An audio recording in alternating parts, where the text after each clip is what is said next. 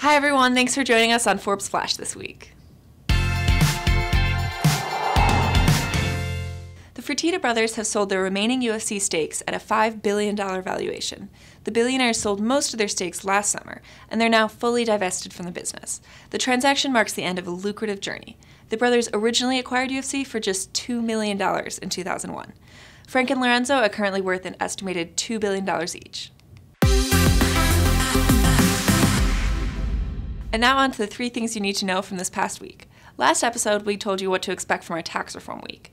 One key article from Congressman Kevin Brady argues that 2017 is the year to make history with tax reform. But how exactly? He says by streamlining the code and focusing on American competitiveness and economic growth. To follow along with all of our Tax Reform Week content, check out hashtag Forbes Tax Reform on Twitter. Atlanta based Rubicon Global has emerged as tech's first trash unicorn.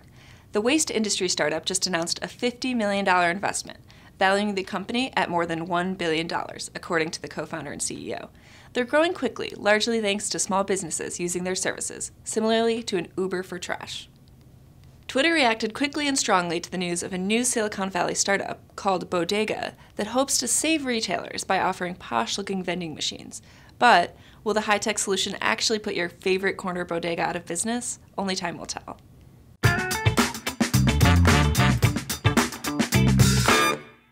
Admit it, you know someone who you think deserves to be on our 30 under 30 list. Maybe it's you. Well, you still have a chance. The nomination deadline for our 2018 list is today. Head on over to forbes.com slash 30 under 30 nominations to be considered. This week, the Bill and Melinda Gates Foundation issued a serious warning to the world's governments, especially the US.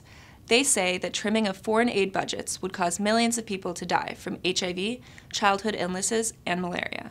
The projections lay out comparisons for what might happen to the global population with minimized budgets, a grim warning for those who've been cheered by recent progress. Now, let's hear from our San Francisco Bureau Chief, Miguel Helft, about the biggest news to come out of this week's Apple event.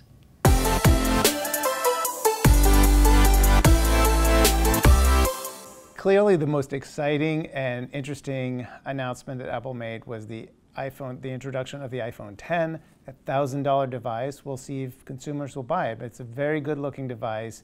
It's a step up from the iPhone 8, which they announced as well. And it has uh, some nifty things like the Face ID, um, which will unlock uh, the phone by simply you looking at the device.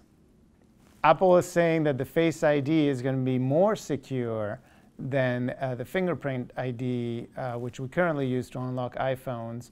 Uh, that remains to be seen. As with anything in uh, security, there will be hackers trying to find ways around it. And um, despite Apple's promises, we don't know yet if this is going to open up a can of worms when it comes to security.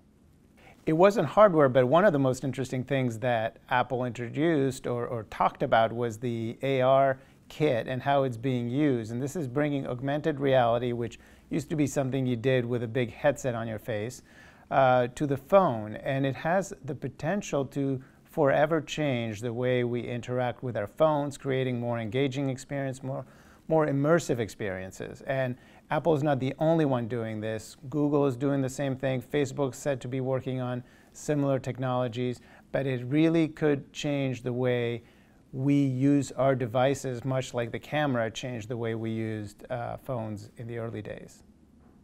Is the iPhone 10 worth $1,000? I'm sure a lot of people will want to buy it to have the latest, greatest, best Apple device, but the phone is entering a market where there's some very worthy competition at a somewhat lesser price, including from Apple, but also from Samsung, from Google, and, uh, and a slew of other premium Android phones that are very, very good. That's all for today. Tweet your feedback using hashtag ForbesFlash, and we'll see you next week. Tune in every Friday morning, same time, same place.